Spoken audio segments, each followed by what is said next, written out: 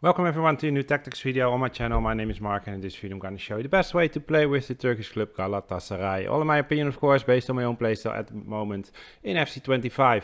I got a few requests to make a video about this team so uh, when you request someone, some team or whatever in the comments below my videos then I will uh, yeah count all the, the, the, requests and the club with the most requests I'm gonna make a video about as soon as I can. So now it's for Galatasaray and after that I'm going to do other teams. So if you have a request for me, make sure that you drop it in the comment sections.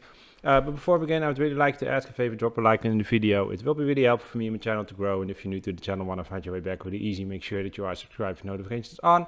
And then we have a sponsor, it's GoGoalShop. They sell amazing quality jerseys and shirts. I got a few of them myself, as you can see here. I'm really happy with them, else I would not recommend it, of course. And they are really cheap. So check out the link in the description to the website. And if you want to order one for yourself or maybe more, then make sure that you also use the discount codes that are in the description because you get some extra off. That's always nice, of course. All right, let's go to Galatasaray to the formation. It's the 4 1 3 2 formation.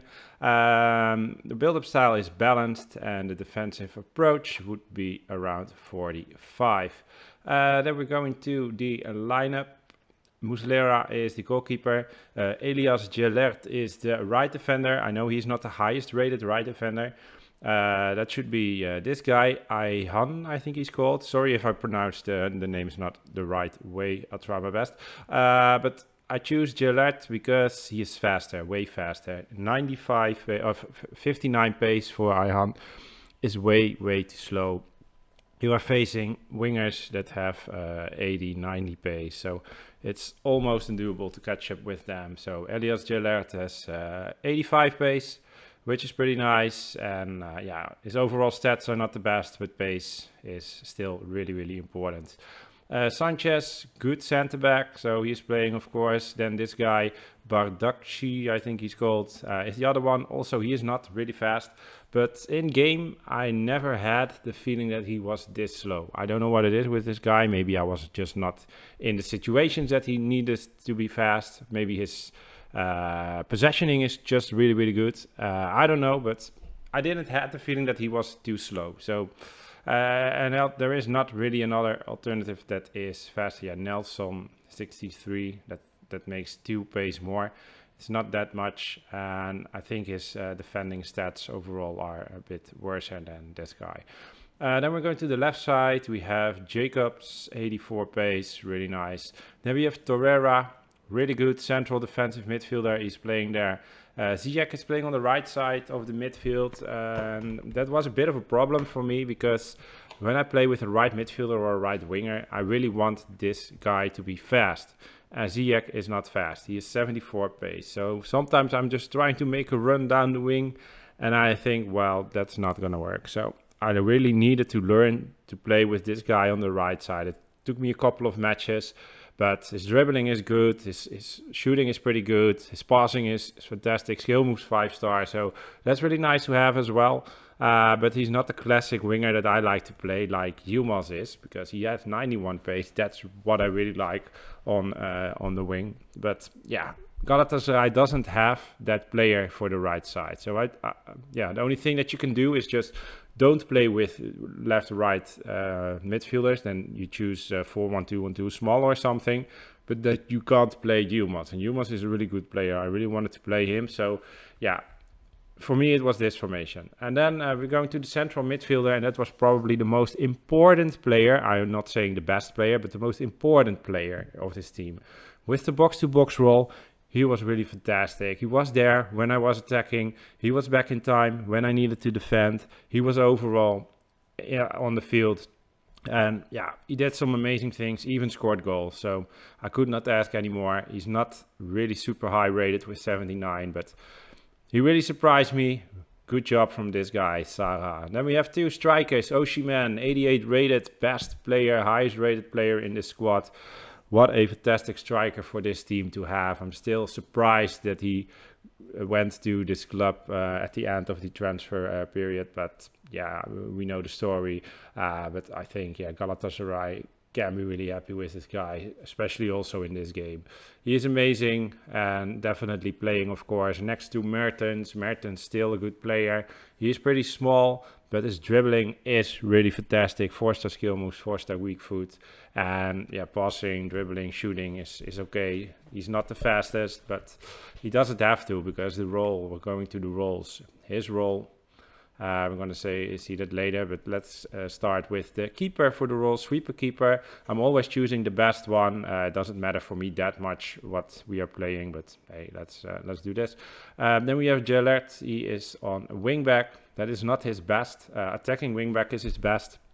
But in this formation with four defenders, that's way too attacking for me. So, uh, sorry, just wingback, focused on balance is good.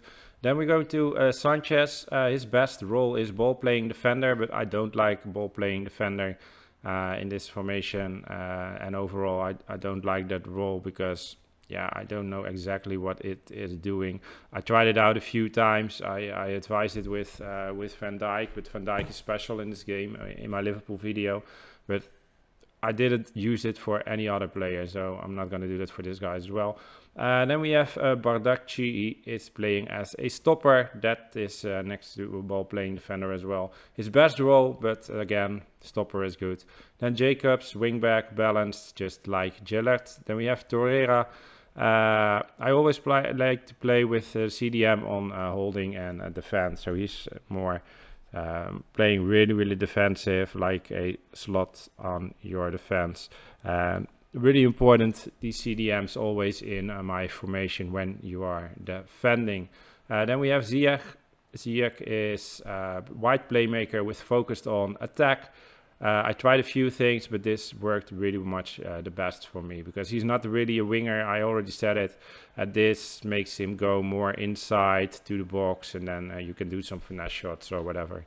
he's left-footed, so yeah, this was working the best. And I already said it. Sara box to box, uh, balance focus, you can't change that, but that's the only way to go with this guy in this formation. Uh, inside forward with focused on balance, did a wonderful job there on the left side. Uh, false number 9 for Mertens, that is his best role. And yeah, he's just dropping back a bit and he's uh, you can pass the ball to him, dribble, uh, pass the ball back. Uh, yeah, you can do whatever you want with this guy almost, uh, but he, he's not the player that is going to make the runs. And uh, you can give a through ball or something. Just falls number nine, and yeah, he's doing a great job there. And then we have Poacher on Osimhen, two pluses for him. That's his best role. That's what he's best at. And yeah, you should definitely choose this for him because he's scoring many, many goals for me during uh, yeah all the things that I tried out for Galatasaray. And then we're going to the assignments. Captain, choose whoever you want, it doesn't matter. Um, free kicks, uh, Mertens and Ziyech. Ziyech from the right side because he's left-footed. Mertens for the left side because he's right-footed. If you like to uh, do some kind of, uh, how do you call it, these uh, Trivela Trivela free kicks, I need to say, then you should uh, switch them, of course. But if you do the normal way, then I should go for this. Long free kick doesn't matter for me because I always take them short, especially if you don't have a good free kick uh, player with high shot power, 75 and, and 83 is not is not enough for a long free kick, in my opinion. Uh, penalties uh, is for Osimhen. Uh, why not? He's the best striker. Let him take the penalties. Uh, left corner, Mertens. Right corner, Ziyech. Again, if you want to uh, curve them inside or just curve them outside of the box, then you can switch, of course. But these guys have the best crossing, so let them take the corners. Target player is Osimhen. Near post, Bardakci, and the back post is for Sanchez. Alright, this is it for me. The best way to play with Galatasaray. Let me know in the comments if you tried it out, what you think of it, or what your results were. I'm really curious. This team gave me a lot of fun to play with. I had some great results, and hopefully it will give that to you as well. Thank you very much for watching. Have a good day. Bye bye.